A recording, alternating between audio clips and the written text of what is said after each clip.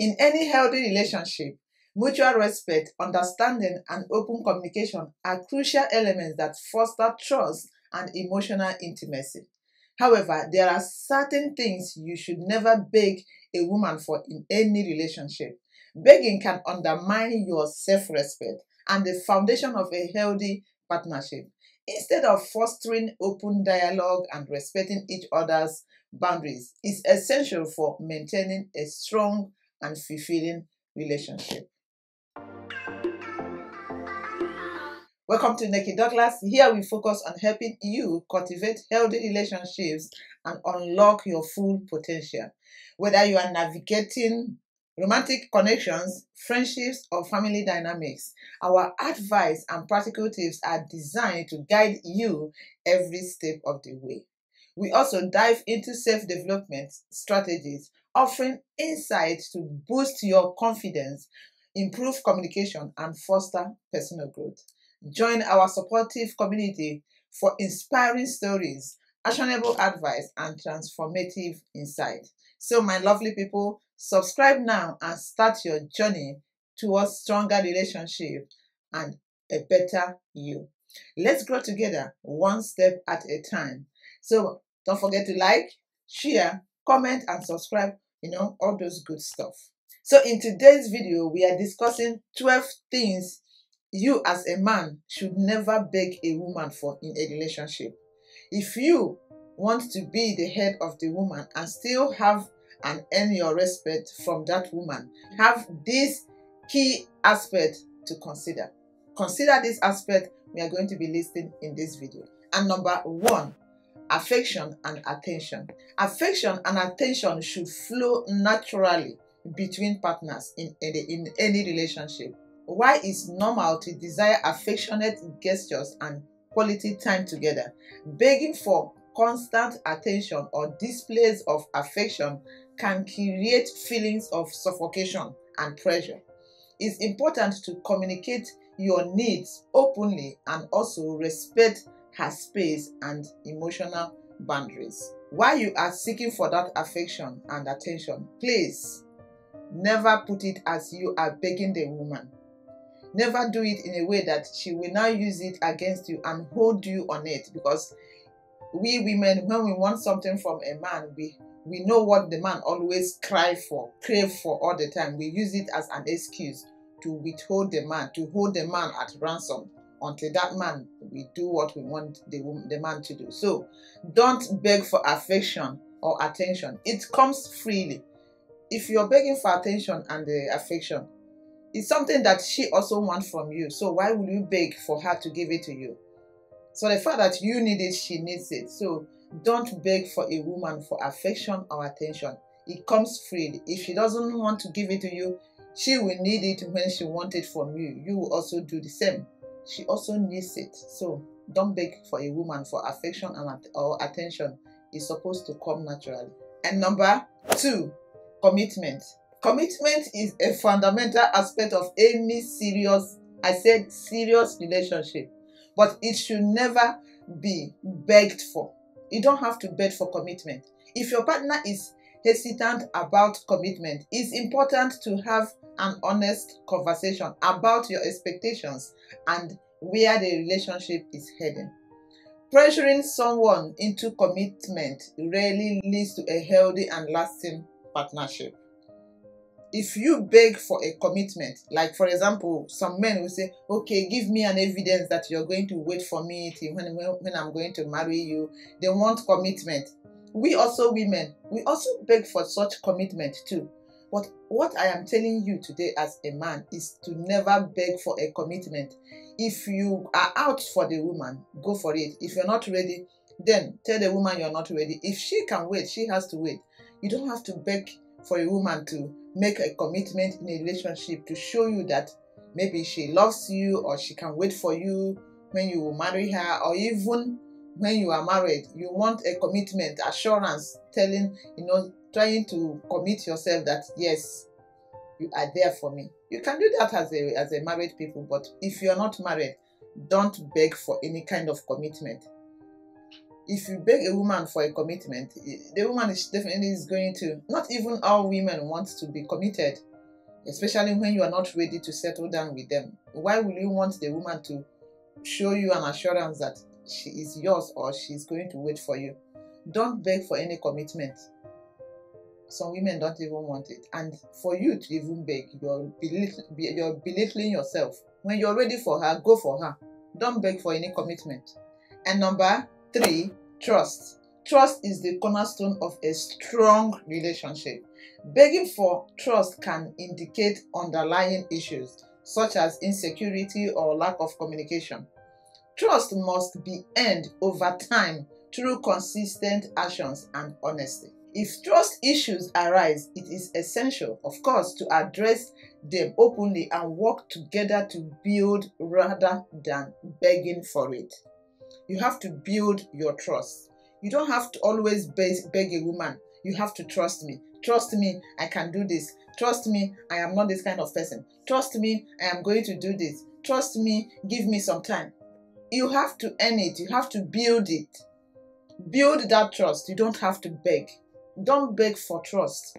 Because when you always beg a woman to trust you and do that, the woman might be seeing you as somebody that you are not actually proving who you are. You are trying, you're just saying it trust is you build trust and you earn it somebody has to trust you because they have seen some incidents that made them to trust you not because you just said it trust me nobody trusts you with just saying it you have to build it you have to show it in action and you shall never beg for it don't beg for anyone don't beg that any woman should trust you because they don't. They will not, even if you beg from to they don't trust you. But you have to build it. When you build it and they see it by themselves, they have to trust you.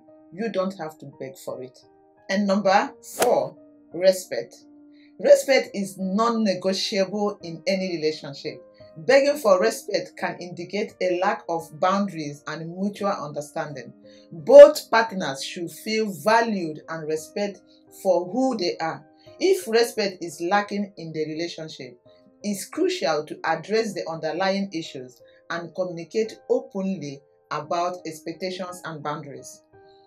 Like men always, you want respect, and that is how it's supposed to be. A woman should give you respect. You don't beg for the woman to respect you. Like I said about the trust, you earn it. You have to work towards building up yourself doing the things that you're supposed to do for the woman to always fall in love, continue to fall in love, and always think about you. And when that happens, you see that respect coming in. You don't ask a woman to just, you have to respect me. If the woman sees how you do your things, how you build yourself up, the thing, the kind of life you're living, that, that woman has no other option than to respect you. That respect comes naturally. It comes with things happening around you. Men don't beg for respect. It's something that you earn, especially if you're in marriage. Being the head of the family, you earn that respect from people under you, from your wives, from your children, from everybody that are, that are under you. Everyone that is under you, you deserve that respect from the person. You don't have to beg it. And if you continue to beg it, that means you are not even on that position to earn it. So earn your respect and don't beg for it. And number five, intimacy. This is very important in every relationship.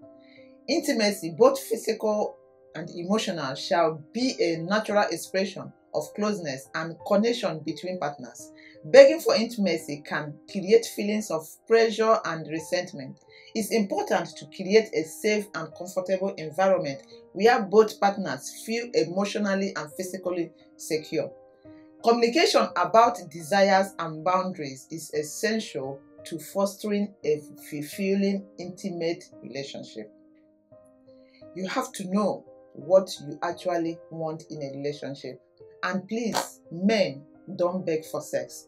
Don't beg for that intimacy because it's something that comes naturally.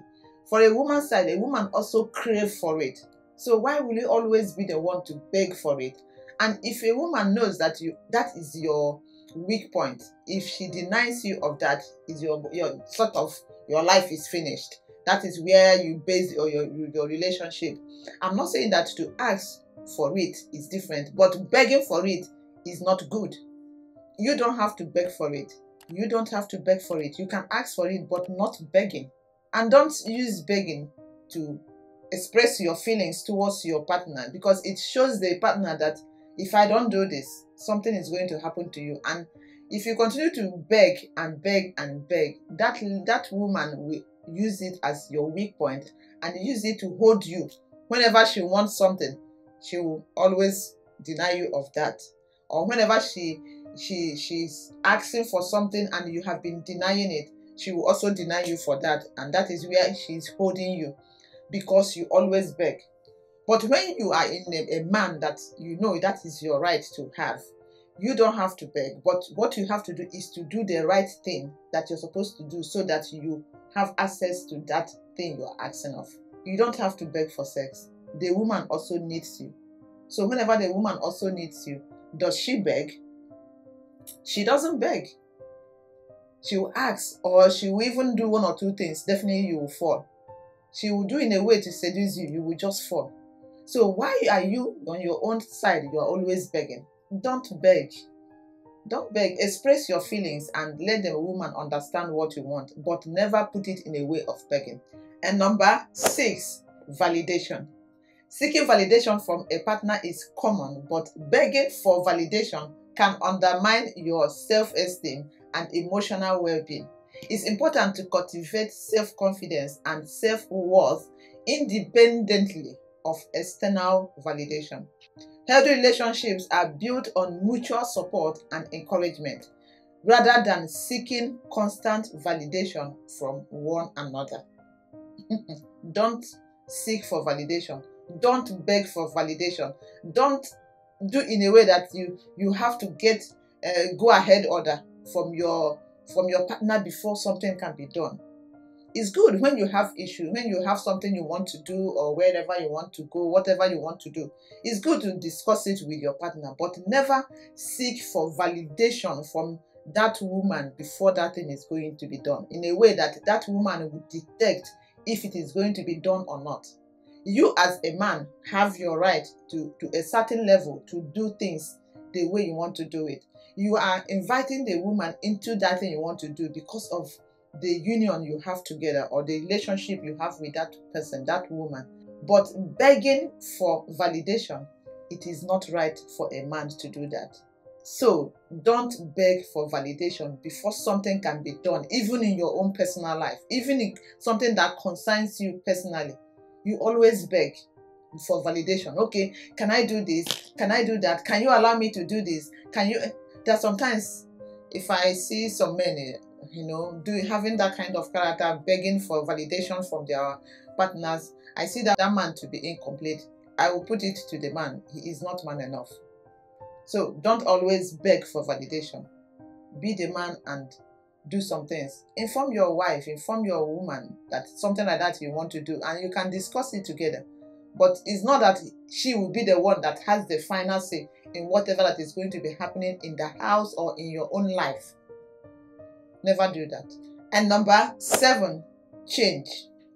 Begging a woman to change her behavior, beliefs, and values is disrespectful and counterproductive. Each person brings their own unique qualities and perspective to a relationship. Instead of trying to change your partner, focus on accepting and appreciating them for who they are. Addressing concerns or issues through open and respectful communication rather than resorting to begging for change. Resorting to begging a woman for change. Uh, why would you beg a woman for change? Or why would you say, I want you to change, be this kind of person, be, be this kind of person? One thing you also have to know here is that everybody is created in a different way. We are unique in our different ways. The way this person behaves is not actually the way that other woman behaves. So why are you begging for her to change? What you have to do is to be able to understand her and encourage her to be what you want her to be, not actually to beg her to change. Don't beg somebody to change.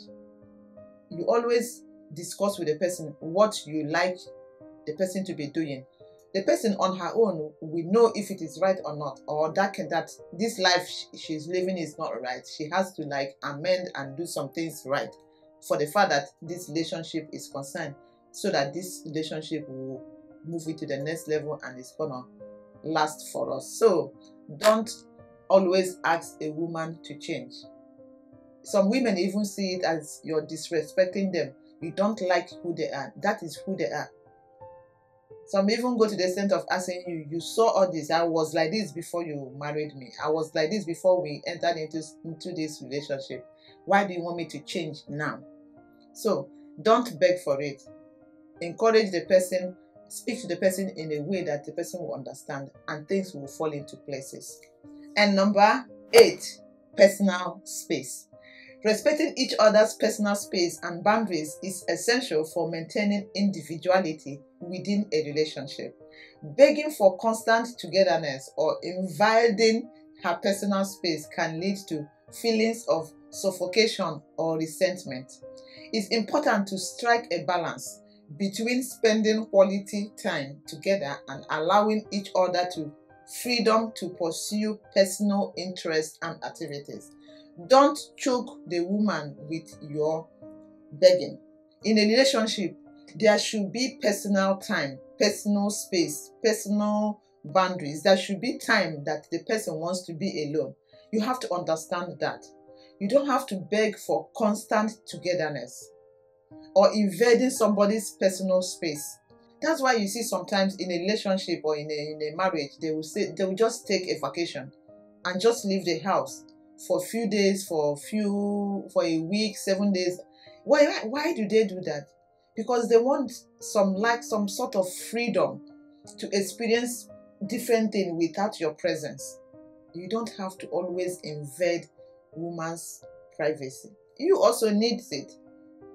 You don't always want a woman to be around you. I know some men they want to be somewhere else not actually with a woman all the time because every time you are with the same person you are going to be tired and there is something they call see finish syndrome. That will enter your relationship.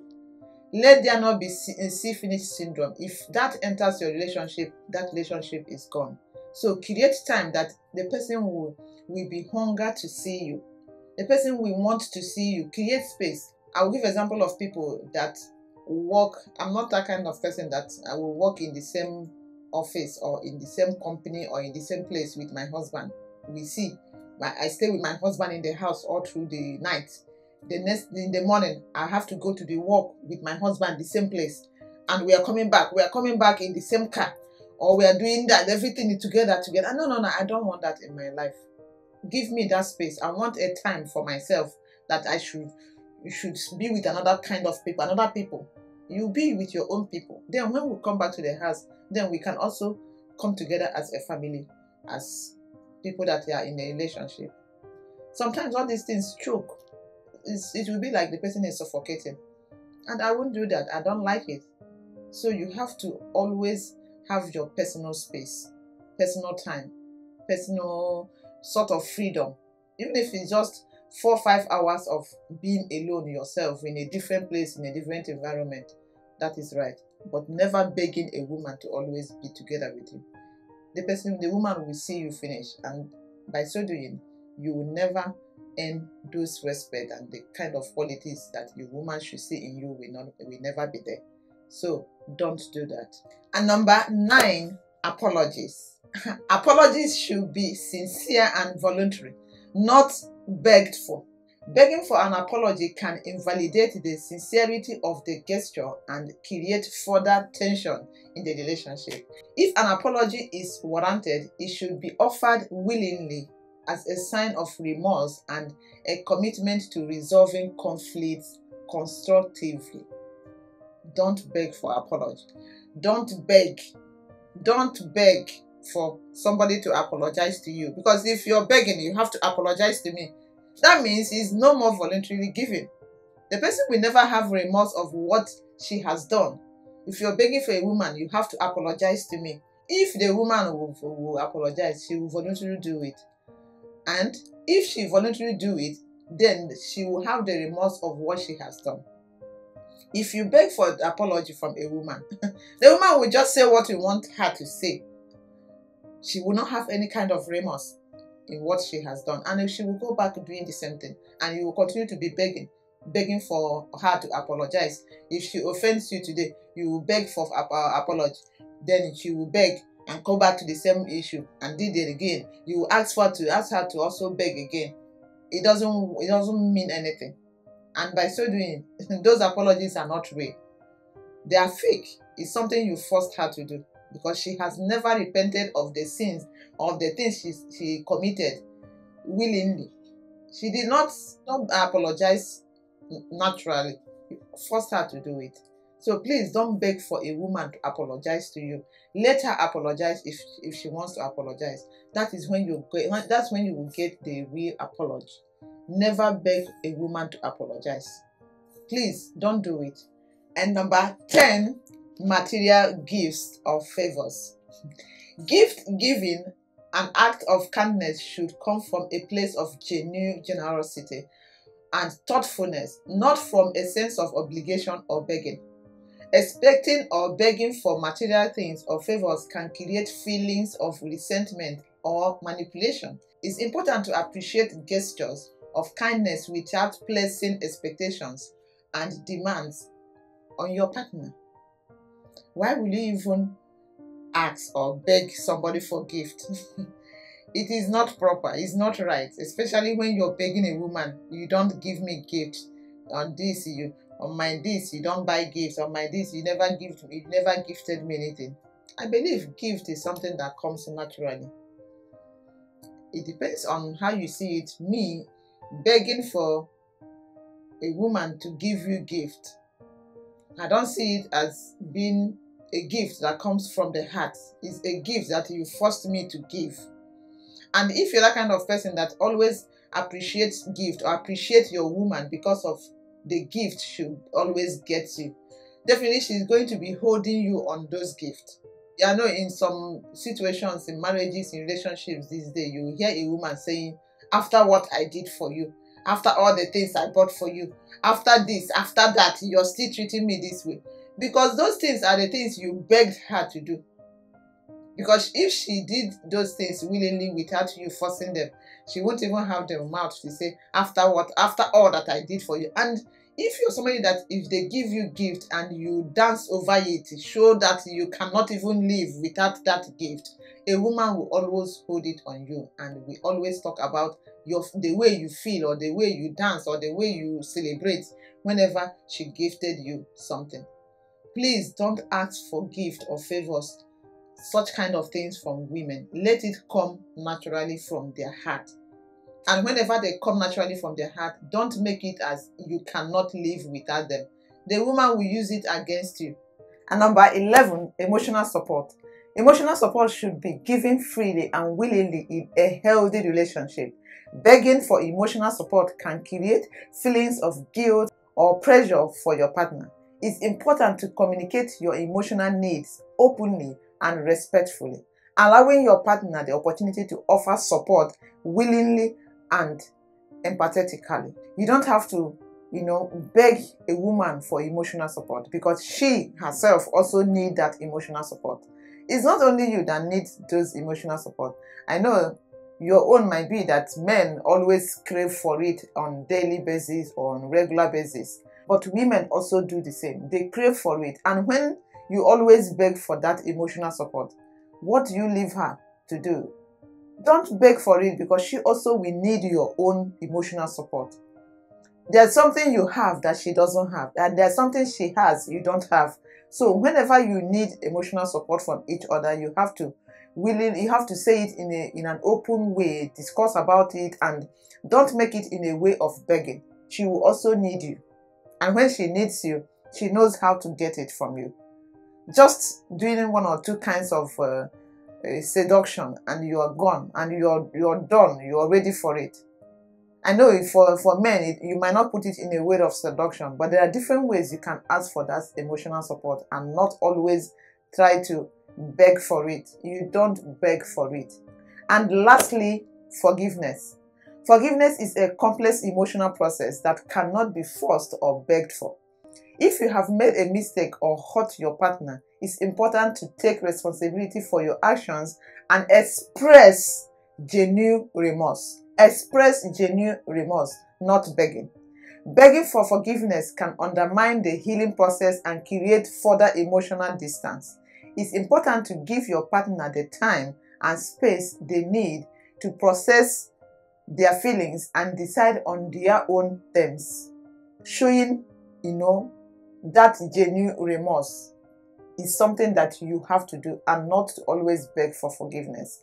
If you have asked you for forgiveness, you show remorse and your action speaks that you are remorseful of what you have done. That is what matters. And another thing you have to also do here is to give the person some space to process what actually happened. After some days or after some weeks of processing it, things will try to be falling into places by the way you asked for forgiveness and your character is showing that you're remorseful of what you have done. Then it is much better to settle that issue than always begging for forgiveness. So, in conclusion, healthy relationships are built on mutual respect, trust, and open communication. Begging for any of the above aspects can undermine the foundation of a relationship and create feelings of resentment or imbalance. Instead, focus on fostering open and honest communication, respecting each other's boundaries, and nurturing a relationship based on mutual understanding and support.